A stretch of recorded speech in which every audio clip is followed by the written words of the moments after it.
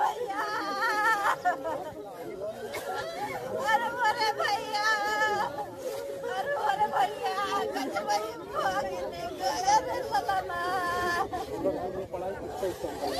आज सवेरे संग्रामपुर थाना क्षेत्र में भावालपुर भावलपुर थाना क्षेत्र में यह सूचना सवेरे करीब सात बजे प्राप्त हुई कि महाराज दीन के पुत्र जीत जिनकी उम्र करीब 20 वर्ष है उनका शव खेत में पड़ा हुआ है। रात्रि में जैसा कि मेरी बात हुई वो खाना पीना खा के सो गए थे। इस विवेचना का विषय है कि वो कब निकले और कब ये घटना कारित हुई इनकी तहरीर प्राप्त करके अभी पंजीकृत किया जा रहा है। यथाशीघ्र अनावरण कर लिया जाएगा। टीमें लगी हुई सर घटना का कारण क्या पता चला है अभी आपकी घटना का कारण अभी तक अज्ञात है। अभी इन्होंने सिर्फ़ इतना बताया है कि रात में खाना खा करके ये घर में सो गए थे।